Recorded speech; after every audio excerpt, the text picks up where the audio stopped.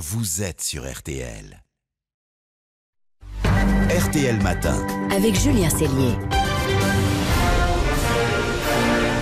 Un air d'Amérique. Et avec Philippe Corbet tous les matins à 7h06, 6h moins le quart pour un air d'Amérique depuis les, les États-Unis. Bonjour Philippe.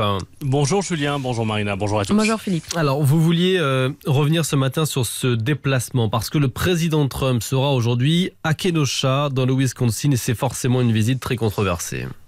Ouais, dix jours après que Jacob Blake a été paralysé sous les yeux de ses trois enfants en recevant sept balles dans le dos tirées par un policier et une semaine après une nuit d'émeute pendant laquelle deux personnes ont été tuées et une troisième blessée par un ado de 17 ans armé d'un fusil semi-automatique, un partisan affiché du président Trump. Alors pourquoi cette visite est controversée? Parce que les élus locaux ont demandé instamment au président de ne pas venir pour ne pas attiser à nouveau les tensions. La famille ne souhaite pas rencontrer le président qui a passé toute la semaine de la convention républicaine sans un mot de compassion pour Blake. Controversé aussi parce qu'il y a quelques heures, le président a laissé entendre que l'auteur de la fusillade, euh, l'adolescent de 17 ans donc, a agi en légitime défense. Et il y a un peu plus d'une heure sur Fox News, il a comparé le policier qui a tiré sur Jacob Blake dans le dos à un golfeur qui perd ses moyens et rate le trou à moins d'un mètre. Oui, la comparaison est, assez polémique, on, la comprend. Après, euh, avec Kenosha, la violence, elle est désormais, Philippe, au cœur de la campagne.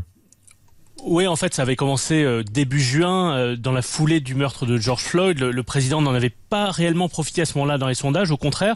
Mais au fil de l'été, plusieurs villes euh, ont vu la, violence augmenter nettement. C'est aussi un effet de la crise sociale très violente qui frappe le pays. Mmh. Et il y a eu notamment un point de crispation à Portland, dans l'Oregon, sur la côte pacifique. Et samedi, à Portland, des soutiens du président sont venus parader avec des voitures et des camions décorés de drapeaux Trump. Euh, ils cherchaient la confrontation avec des militants d'extrême gauche qui eux-mêmes répondaient. Et dans cette confusion, un militant d'extrême droite a été tué. Le président a tweeté plus de 120 fois en 24 heures à ce sujet. Il a même retweeté une vieille vidéo qui n'avait rien à voir. On voit un homme noir frapper violemment une femme blanche. Et je vous cite ce que disait il y a quelques jours une conseillère du président. Plus le chaos, l'anarchie, le vandalisme et la violence règnent, mieux c'est pour avoir un mm. choix très clair sur ce qui est le meilleur en matière de sécurité publique. Et, et c'est pour cela que Joe Biden a pris la parole à ce sujet.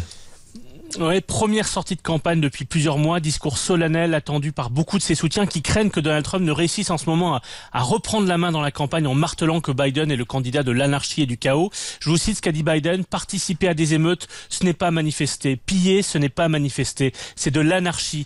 Et il accuse Donald Trump d'être le candidat de l'insécurité. Des feux brûlent et nous avons un président qui attise des flammes. Donald Trump regarde ces violences et y voit une planche de salut politique pour sauver sa campagne. Il est censé protéger ce pays mais en réalité, il se hmm. raccroche au chaos et à la violence. Donald Trump a échoué à protéger l'Amérique, donc maintenant il essaye d'effrayer l'Amérique. Fin de citation. On a vraiment la sensation d'avoir deux Amériques face à face en, ce moment, et bien entendu, on suivra euh, cette visite si controversée à Kenosha dans le Wisconsin avec, euh, avec vous, Philippe. Merci pour cette art d'Amérique. À demain Bonne sur journée. RTL, même en même endroit.